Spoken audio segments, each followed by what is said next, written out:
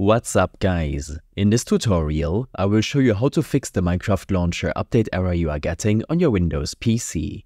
This should be quite an easy tutorial. For more information, click on the first link in the description below. The Minecraft Launcher update error usually occurs because of insufficient permissions on your account, issues with your firewall or antivirus, missing or corrupted Windows files, or underlying issues with your Minecraft Launcher files. First, try opening the Minecraft launcher as an admin. Search for Minecraft in your Start menu search. Right-click the launcher icon and select Run as Administrator. If you're still getting the update error, make sure that your launcher files are not corrupted. If you're using the Microsoft Store version of the game, then open up your Microsoft Store and look up Minecraft.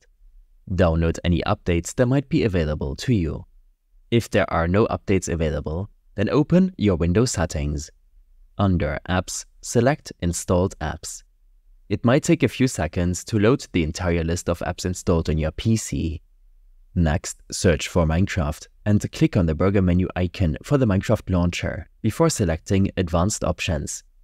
In your Minecraft launcher Advanced Options, scroll down and click on Repair. After repairing the app, click on Reset. This will reinstall some files, as if you've reinstalled the Minecraft Launcher application to your system. If you're still getting the update error, or if you prefer using the Minecraft.net version of the launcher, then head over to Minecraft.net, log in with your account, and proceed to download the latest version of the Minecraft launcher to your system. Before reinstalling Minecraft, make sure to delete the app data Minecraft folder.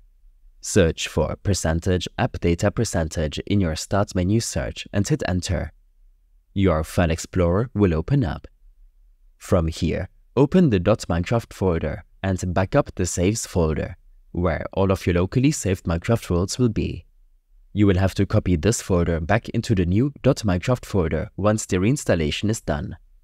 Lastly, if you still encounter the Minecraft Launcher update error, then head back to your Windows settings under System, click on Troubleshoot.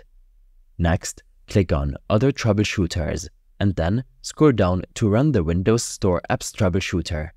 This will diagnose and try to fix potential issues you're having with apps that are installed through the Microsoft Store, such as the Minecraft Launcher. In the Windows Update section of your settings, click on Check for Updates. This will take a moment to install the latest drivers and operating system version you might be required to restart your PC once the update is downloaded. These steps and more information will be available in my extensive guide linked in the description below. I hope this helped you out. Leave a comment if you have any questions and see you in the next one.